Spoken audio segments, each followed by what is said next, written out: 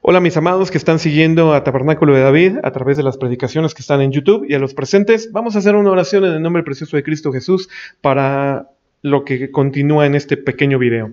Dios, en el nombre precioso de Cristo Jesús, te amamos, te bendecimos, hoy estamos delante de tu presencia y lo más importante, mi Dios, es que hoy deseas darnos entendimiento. Ante ese entendimiento, mi Dios, te pido en el nombre precioso de Cristo Jesús, guíes mi palabra, guíes mi lengua, lengua, guíes todo mi entendimiento, todo mi ser, toda mi mente y sobre todo, mi Dios, guíes también a la profeta que el día de hoy ha de completar lo que la semana pasada tú también pusiste en su corazón. En el nombre precioso de Cristo Jesús. Amén.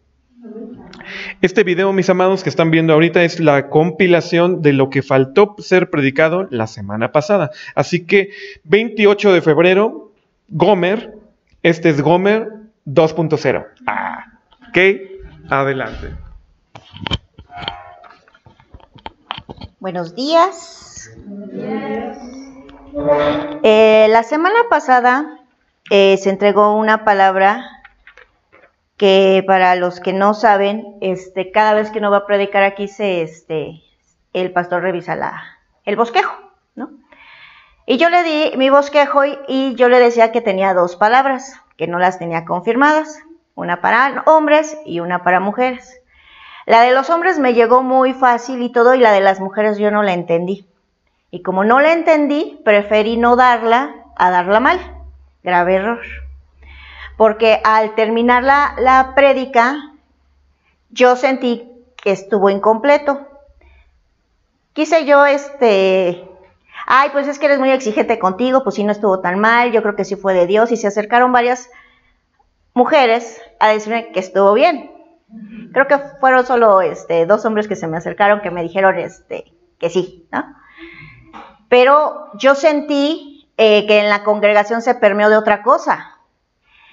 Y al Fabián este, revisar este, la prédica me dijo, tú me habías dicho que tenías una segunda palabra y le dije, es que no la confirmé. Y al no haber dado esa palabra, se prestó a que nosotras mujercitas, que la palabra que nos va a dar hoy, pues nos caiga, pero pues perfectamente como anillo al dedo. A los hombres me dijo el Señor, como lo dijimos la semana pasada, que eran pueblo ajeno, que eran lo a mí. Pero a nosotras, mujeres, nos está diciendo que somos lo ruama o lo ruama, no sé cómo se pronuncia este, la palabra. ¿Qué quiere decir esto? Que somos las no compadecidas. Busqué el, significado de la palabra no compadecida y dices, compadecida es ser, sentir tristeza al ver padecer a alguien, desear aliviar el dolor o el sufrimiento de alguien, no conformarse a algo, no unirse a algo. Dios le da esta palabra a Israel cuando le anunciaba que la compasión paternal de Dios sería retirada por un tiempo de él. Y esa es la palabra que nos está dando a las mujeres. Y la palabra textual que hoy tengo que entregar para hijas de tabernáculo de David es, hijas de tabernáculo de David, escuchen mi voz y atiendan. Durante mucho tiempo has reñido y me has confrontado acerca de la autoridad, de la instrucción o del mandato que yo he puesto a tu vida. Hoy te digo, saca a Jezabel de tu vida.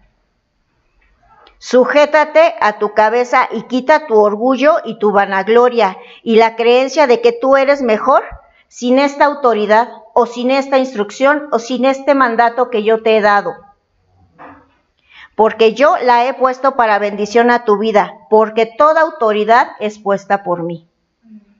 Deja de confrontarme, deja de reñirme, deja de cuestionarme y, sujétate a mi voluntad. Dobla tu rodilla, inclina tu corazón, pero sobre todo deja ese orgullo y sácalo de ti.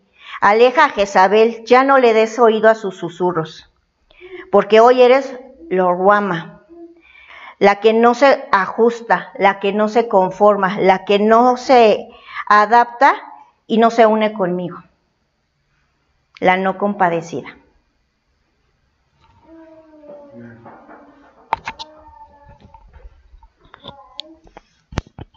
Amén. En esa bendición ha sido entregada la palabra.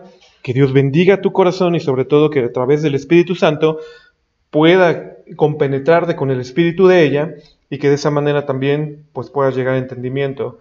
Porque no solo creo que esta palabra sea para Tabernáculo de David, sino para toda mujer que ha recibido una instrucción y que no la ha acatado delante de los ojos de Dios. Que Dios te bendiga. Amén.